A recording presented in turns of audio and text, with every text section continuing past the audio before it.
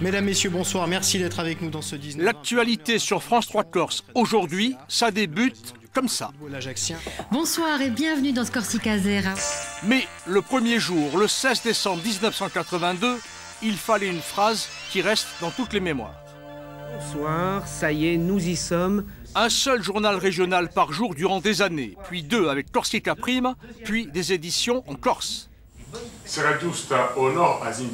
Actuellement, France 3 Corse, c'est près de 200 emplois à Bastia et Ajaccio. À Corté, il y a 12 sapeurs-pompiers permanents. C'est peu pour toutes les missions. Début des années 80, une équipe resserrée se lance dans l'aventure. Il s'agit ni plus ni moins de créer de toutes pièces un journal régional. Nous sommes une édition du soir. Il n'est donc pas question de reprendre les informations du matin que vous avez déjà dans les journaux. À l'époque, la Corse est la seule région française qui n'a pas de journal télévisé. L'île dépend de la station de Marseille. La télévision existe en Corse depuis le début des années 60.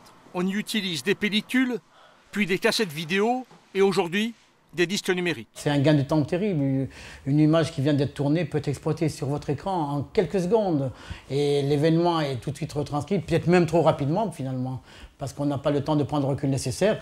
Mais euh, l'image est meilleure, le son est synchronisé. Euh, c'est vraiment de l'âge, on de l'âge de la pierre au, au modernisme. Depuis des dizaines d'années, les évolutions techniques sont constantes. En 30 ans, les moyens techniques ont beaucoup évolué et, de nos jours, on peut facilement faire, par exemple, euh, des émissions euh, à l'extérieur, dans des villages, grâce aux moyens de transmission modernes. Et également, les moyens de production basés sur le numérique permettent de faire des émissions de plus en plus complexes. Une étape est franchie en octobre 2007. France 3 Corse prend de la hauteur. C'est désormais une chaîne sur satellite, visible dans toute la France. C'est la naissance de Viastel.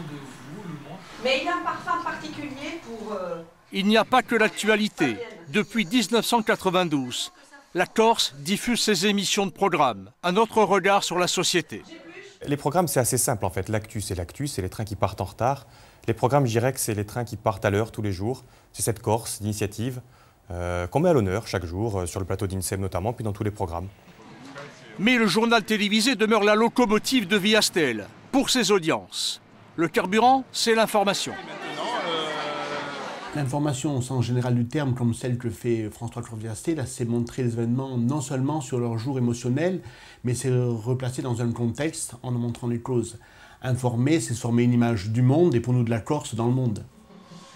Une découverte dans les coulisses, la jeunesse des personnels. Ici les scripts, des titulaires, mais aussi des contrats courts venus du continent et de Corse. Ce sont les vrais pilotes des émissions. Sans eux, pas d'antenne. Qu'est-ce que vous faites Excusez-moi. Là, je suis en formation en tant que script pour euh, France 3 Corse Viastel. Je suis d'Ajaccio, ce qui est plus pratique pour l'entreprise, pour les remplacements. L'information, c'est de plus en plus Internet. Les réseaux sociaux et surtout le nouveau site de France 3 Corse pour ne rien rater entre deux journaux télévisés sur notre site internet qui est véritablement un vecteur d'information où on peut retrouver euh, en cas euh, de procès, euh, d'interpellation, d'attentat ou d'autres choses plus réjouissantes en matière de sport ou de culture, ce qui se passe en Corse, ce qui fait l'actualité de notre région, sans attendre les éditions du Corsi Gazer du 18h ou du midi sur la TNT et sur le satellite. Cet après-midi, à défaut d'avoir lieu dans l'hémicycle, eh ben le débat. Et eh oui, 30 ans se sont passés, des dizaines de personnes se sont succédées à l'antenne de France 3 Corse. Malheureusement, certaines nous ont quittés, mais la relève, heureusement, est assurée. Alors, à quoi ressemblera France 3 Corse via Stella dans 30 ans? Eh bien, écoutez, je vous donne rendez-vous dans 30 ans, et comme on dit, bonsoir.